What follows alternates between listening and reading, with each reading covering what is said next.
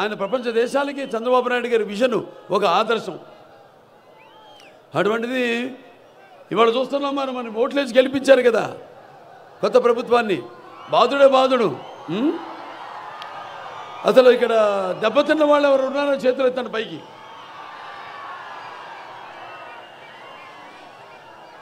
అలాగే అన్ని ఈ యొక్క ప్రభుత్వంలో అన్ని వ్యవస్థలు కూడా మొత్తం నిర్వీర్యం అయిపోయినాయి. అలాగే వినాశనం కష్టం నష్టం తప్ప ఈయన వచ్చి పెద్ద పరిపాలన చేసింది ఏమీ లేదు. నేను లక్షల కోట్ల భక్షకుడు. అలాగే పక్షపాత ఉన్న ముఖ్యమంత్రి ప్రస్తుతం ఆయన ఉన్న అవలక్షణాలన్నీ ఏమిటంటే ఇవి లక్షల కోట్ల భక్షకుడు లేకపోతే పక్షపాత పక్షపాత రూపకుడు అవినీతి అర్పకుడు లేకపోతే కుంభకోణాల కీచకుడు జగమెరిగిన జగన్ నాటకుడు అలాగే దేశానికి పట్టిన దరిద్రత రాష్ట్రానికి పట్టిన రావణ పాలన ద జన ధన మాన ప్రాణ చోరకుడు ఇప్పుడున్న ప్ర- ప్ర- ప్రస్తుత ముఖ్యమంత్రి. మరి మొదటి మూడేళ్ళేమో ఏం చేయాలో అసలు పరిపాలన చేతకాక పరిపాలన ఎలా చేయాలో తెలియక ఈ మూడు రాజధానులు అంటూ కాలాన్ని వెళ్ళబుచ్చుకున్నాడు. తర్వాత ఈ యొక్క తన ఈ యొక్క నవరత్నాల కోసమని ఇప్పటికి ఎనిమిది లక్షల కోట్ల రూపాయలు అప్పు చేశాడు. ఒకటి గుర్తుపెట్టుకోవాలి మీరు. ఆ డబ్బంతా ఏమైందని? అందరికీ అందుతున్నాయా? సరే రాష్ట్రం మనం చూస్తున్నాం వాళ్ళ ఎటువంటి పరిస్థితుల్లో ఉందో. మందు కల్తీ. ఒకప్పుడు ఏదో కష్టపడి ఏదో చేత తీర్చుకోవడం కోసం ఏదో ముందు కొంచెం పుచ్చుకుంటే దానికేమో ఏవో కొత్త కొత్త బ్రాండ్లని తీసుకొచ్చి ఈ మ- మొత్తం అందరి అవయవాలు దెబ్బతినేలా. అసలు అవయవాలే కాదు మొత్తం వ్యవస్థని అప్పుడు చంద్రబాబు నాయుడు గారు టిట్టుకో ఇల్లు కట్టించారు. లేటెస్ట్ టెక్నాలజీతో ఇప్పటిదాకా ఇస్తాం ఇస్తామని ఒక టైం టేబుల్ ఇచ్చారు కానీ ఇప్పటిదాకా ఒక్క ఇల్లు కూడా ఒక్కరికి మంజూరు చేసిన దాఖలాలు ఎక్కడ లేవు. ఇవాళ ఆ పరిస్థితి చూస్తే ఆ ఇళ్ళ పరిస్థితి ఇవాళ సిద్ధాలావస్థలో ఉన్నాయి ఆ ఇళ్ళు. ఇవాళ మీరు వెళ్ళినా కూడా అవి ఎప్పుడు కూలిపోతాయో తెలీదు. కూలి పోవాలనే ఇచ్చిన ఇవ్వచ్చు. తస్మాత్ జాగ్రత్త మీ అందరూ. అలాగే ఇప్పుడు ఒక ఇది ఒక చెత్త ప్రభుత్వం ఒక అసమర్థ ప్రభుత్వం చేతగాని ప్రభుత్వం అలాగే బా ప్రజలపై బాధుడే బాధుడు ప్రభుత్వం. మనం చూస్తున్నాం ఈ ప్రభుత్వం వచ్చిన ఒక సంవత్సరంలోనే ఈ పోలవరం ప్రాజెక్ట్ పూర్తి చేస్తామన్నారు. వచ్చిన నాలుగేళ్ళనే ఇప్పుడు దాకా పూర్తి చేయక చేత కానీ ప్రభుత్వం ఉండడం మన రాష్ట్రానికి పట్టిన కర్మ. అలాగే ఇప్పటిదాకా నేను చెప్పినట్టు ఎనిమిది లక్షల కోట్ల రూపాయలు అప్పు చేశారు. మీకు ఇచ్చేది పది రూపాయలు అయితే కింద నుంచి లాక్కునేది ఈ ఇతరత్ర ఈ ట్యాక్సుల ద్వారానో వాటర్ ద్వారానో మిగతా వాట్ల ద్వారా లాక్కునేదేమో వంద రూపాయలు మీ దగ్గర. ఇవాళ యువత చూస్తున్నాం ఇవాళ ఉపాధి లేదు. ఇవాళ ఎన్ని ఇన్ని కోట్ల లక్ష రూపాయలు అప్పు అప్పు చేసినా కూడా ఇవాళ ఇక్కడ మన రాష్ట్రంలో ఇక్కడ పరిశ్రమలు లేవు. ఉన్న పరిశ్రమలు పోతున్నాయి. కొత్త పరిశ్రమలు అయితే వచ్చే దాఖలాలే లేవు. నిరుద్యోగం. ఇక మన దేశంలోనే డ్రగ్స్ అలా గంజాయి పెంచడంలో మాత్రం మన దేశంలో మన రాష్ట్రం మొదటి స్థానంలో ఉంది. అలాగే ఈ విద్యుత్ ఛార్జీలు అయితేనేమి లేకపోతే ఆర్టీసీ ఛార్జీలు అయితేనేమి ఈ కరెంటు ఛార్జీలు మొత్తం అన్నీ కూడా ఆకాశానికి అంటుకుంటున్నాయి. అలాగే ఇవాళ భూ అలాగే ఇంటి మీద ట్యాక్సు అలాగే చెత్త మీద కూడా ట్యాక్స్ వేసి మధ్య తరగతి మనుషుల యొక్క కుటుంబాల యొక్క నడ్డి విరుస్తుంది ఈ ప్రభుత్వం. ఈ యొక్క శాండ్ మాఫియా ల్యాండ్ మాఫియా అంటూ కొన్ని కోట్ల రూపాయల ప్రజాధనాన్ని దోచుకుంటున్నారు ఈ వైసీపీ నాయకులు.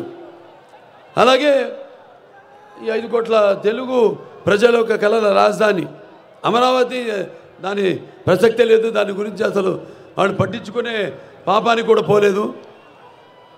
అలాగే రాజధాని కోసం ఎవరైతే భూములు ఇచ్చారో రైతులు వారు చేస్తున్న ఆందోళనకైతేనేమి లేకపోతే న్యాయచరంగా న్యాయ ప- పరంగా వాళ్ళు వెళితే ముందుకి వాళ్ళపైన అరాచకాలు చేయడం ఇలాంటి ఎన్నో దౌర్జన్యాలకి పాల్పడుతున్నారు. అలాగే ఎవరైనా వాళ్ళ మీద ఏదైనా వేలెత్తి చూపితే చేసిన తప్పులు వాళ్ళను భయాందోళనకు గురి గురి చేయడం ఇది వాళ్ళకు పరిపాటిగా మారిపోయింది. రాష్ట్రానికి రాష్ట్రానికేమో రైల్వే జోన్ తీసుకొస్తానన్నారు. అలాగే ప్రత్యేక హోదా తెస్తామన్నారు. దాని ప్రసక్తే లేదు. అది ఇవాళ అసలు అన్ని వ్యవస్థల్ని నిర్వీర్యం చేసేసి కేవలం అరాచకం దోచుకోవడం దౌర్జన్యం వీటితోనే పప్పం గడుపుకుంటుంది ఈ ప్రభుత్వం. ఇవాళ మీరంతా ఆలోచించాలి. ఇవన్నీ గమనించాలి.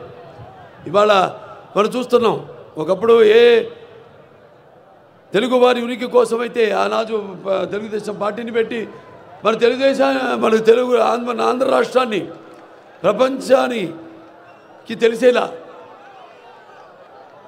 చేశారో అన్న నందమూరి తారక రామారావు గారు ఎలాగైతే ఈనాడు చంద్ర ఆనాడు చంద్రబాబు నాయుడు గారు మరి ఆర్థికంగా ఆయన ఎన్నో సంస్కరణలు అటు యువతకు ఉపాధి కల్పించడానికి హైటెక్ అయితేనేమి లేకపోతే ఐ- ఐటీ అయితేనేమి? ఇవి వీటిలన్నింటినీ బాగా ప్రోత్సహించి అందరినీ ఆర్థికంగా బలోపేతం చేశారో ఎలా అన్ని వర్గాల వాళ్ళకి అందరికీ మహిళలకైతేనేమి రిజర్వేషన్ల విషయంలో అయితేనేమి వాళ్ళకి ముప్పై మూడు శాతం అలాగే బీసీలకి యాభై శాతం అలాగే ఎస్సీ కమిషన్ పెట్టి ఆనాడు జస్టిస్ పున్నయ్య గారి వారి సిఫార్సుని ఎలా మరి చేశారో వీటన్నింటిని కూడా దృష్టిలో పెట్టుకుని మీరందరూ మళ్ళీ తిరిగి ఉద్యమించి ఇవాళ మన రాష్ట్రానికి తిరిగి పునర్వైభవాన్ని కల్పించవలసిన అవర అవసరం ప్రతి ఒక్కడి భుజస్కంధాలపై ఉందని ఈ సభాముఖంగా తెలియజేసుకుంటూ జై తెలుగుదేశం. ఎక్కడైనా కూడా మంచి హాస్పిటల్స్లో నాణ్యమైన వైద్యాన్ని వాళ్ళు తీసుకునే విధంగా ఈరోజు జగన్మోహన్ రెడ్డి గారు కల్పించడమే కాకుండా గతంలో చంద్రబాబు నాయుడు మూడు సార్లు ముఖ్యమంత్రిగా ఉన్న ఒక మంచి హాస్పిటల్ కానీ ఒక మెడికల్ కాలేజ్ కూడా కట్టకపోవడం వల్ల కోవిడ్ సమయంలో మనం ఎంతో ఇబ్బందులకు గురయ్యాం కాబట్టి ఖచ్చితంగా మెడికల్ కాలేజీలు కడితే దాంతోపాటు మంచి ఫెసిలిటీస్తో హాస్పిటల్స్ కూడా వస్తాయని ఈ రాష్ట్రంలో పదిహేడు మెడికల్ కాలేజీలకి భూమి పూజ చేసి శరవేగంగా కడుతూ ఈ సంవత్సరం ఐదు కాలేజీల్లో ఫస్ట్ ఇయర్ అడ్మిషన్స్ కూడా తీసుకుంటున్నారు అంటే ప్రజల ఆరోగ్యం పట్ల జగన్మోహన్ రెడ్డి గారికి ఎంత చిత్తశుద్ధి ఉందో ఒకసారి మీ అందరూ కూడా ఆలోచించాలి. ఈ పదిహేడు మెడికల్ కాలేజీల కోసం ఎనిమిది వేల కోట్ల రూపాయలు వెచ్చించి ప్రజల ఆరోగ్యం కోసం పనిచేస్తున్న విషయాన్ని కూడా గమనించాలని కూడా ఈ సందర్భంగా తెలియజేసుకుంటున్నా. అంతేకాకుండా రాష్ట్రంలో ఉన్న అన్ని హాస్పిటల్స్ పిహెచ్సిల రెనోవేషన్ కింద పంతొమ్మిది వేల కోట్లతో సారీ పదహారు వేల కోట్లతో ఈరోజు అన్నీ కూడా రెనోవేట్ చేసి డాక్టర్స్ని నర్సుల్ని ఎంతమంది అవసరమో అంతమందిని కూడా రిక్రూట్ చేసి మెడిసిన్స్ అన్నీ కూడా అందుబాటులోకి తీసుకొచ్చి ఈరోజు ఫ్యామిలీ డాక్టర్ కాన్సెప్ట్తో కూడా పేదవాడి ఆరోగ్యం కోసం అనుక్షణం ఆలోచించి పనిచేసే జగన్మోహన్ రెడ్డి గారిని కాదని ఈరోజు చంద్రబాబు నాయుడు ఏదో పిచ్చి పిచ్చి హామీలతో మేనిఫెస్టో రిలీజ్ చేస్తే భయపడే వాళ్ళు ఎవ్వరు కూడా లేరు. ఎందుకంటే చంద్రబాబు నాయుడుకి అర్థమైంది. నేను పద్నాలుగు నుంచి ప పంతొమ్మిది వరకు ఈ అభివృద్ధి చేశాను. నన్ను చూసి ఓటేయండి అని చెప్పుకోవడానికి ఏమీ లేదు. ఫార్టీ ఇయర్స్ ఇండస్ట్రీ అని చెప్పుకున్న చంద్రబాబు నాయుడికి ఈరోజు కొత్త ఆలోచన కూడా బుర్రలో నుంచి రావట్లేదు. ఫోర్ ఇయర్స్ ఇండస్ట్రీ అయిన జగన్మోహన్ రెడ్డి గారి అడుగు అడుగుజాడల్లో అడుగులు వేసే పరిస్థితికి చంద్రబాబు నాయుడు వచ్చాడు అంటే జగన్మోహన్ రెడ్డి గారి విజన్ ఎంత గొప్పదో మనం ఆలోచించాలి. ఎందుకంటే మొన్న మహానాడులో ఆయన రిలీజ్ చేసిన manifesto mini manifesto face value లేని చంద్రబాబు నాయుడు మేనిఫెస్టోతో ప్రజల్ని మోసం చేయాలని ఒకటి రిలీజ్ చేస్తే అందులో మూడు వైఎస్ఆర్సీపీ జగన్మోహన్ రెడ్డి గారి మేనిఫెస్టోలోటివి రెండు మొన్న ఎలక్షన్ జరిగిన కర్ణాటకలో కాంగ్రెస్వి రెండు కర్ణాటక బీజేపీ మేనిఫెస్టో నుంచి ఒకటి. మొత్తం ఆరు హామీలను దొంగిలించి ఈరోజు రిలీజ్ చేశాడే తప్ప నిజంగా ప్రజలకి మంచి చేయాలి అంటే ఒక మంచి ఆలోచనతో ఈయన ఒక కొత్త మేనిఫెస్టోని రిలీజ్ చేసిన అర్థం చేసుకునేవాళ్ళు కానీ మంచి చేయాలన్న ఆలోచన లేదు. ఎందుకంటే గతంలో ఆయన ఇచ్చిన మూడు మేనిఫెస్టోలని ఆయన ఎక్కడ అమలు చేయలేదు. ఆ మేనిఫెస్టోలు అంటే ఆయనకి చిత్తు కాగితంతో సమానం. ఆయన మేనిఫెస్టో ఆయన వెబ్సైట్లోంచి తీసిపడేసిన వ్యక్తి. అలాంటోడు ఈరోజు ఇచ్చాడు అంటే కేవలం ప్రజల్ని మోసం చేయడానికి ఇది మినీనే ఇంకొకటి వస్తుంది అన్నాడు. నాకు తెలిసి నెక్స్ట్ వచ్చే దాంట్లో అందరికీ కూడా విల్లాలు ఇస్తాను కేజీ బంగారు ఇస్తాను ప్రతి ఇంటికి కూడా సాఫ్ట్వేర్ ఉద్యోగం ఇస్తాను. ఇట్లాంటివైనా చెప్పేస్తాడు. ఎందుకంటే చేయడు కాబట్టి. జగన్మోహన్ రెడ్డి గారు చెప్పినవే చేస్తారు. చేయగలిగినవే చెబుతారు కాబట్టి ఈరోజు ఆయన ఇచ్చిన మేనిఫెస్టోలో ఉన్న అన్నీ కూడా ninety eight point five percent చేయగలిగినవే చెప్పారు చేసి చూపించారు. అదే చంద్రబాబు నాయుడు ఐదేళ్ళు ఏం చేశాడు?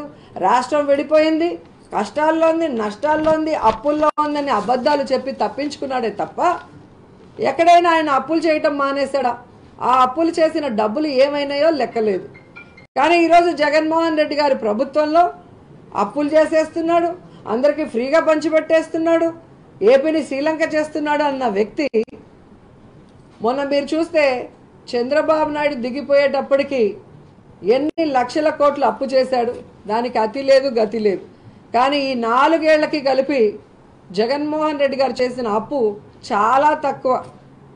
దాన్ని కూడా హండ్రెడ్ పర్సెంట్ ప్రజలకే సంక్షేమ రూపంలో అభివృద్ధి రూపంలో ఇచ్చారు అనటానికి ప్రతిదీ కూడా పారదర్శకంగా ఉంది.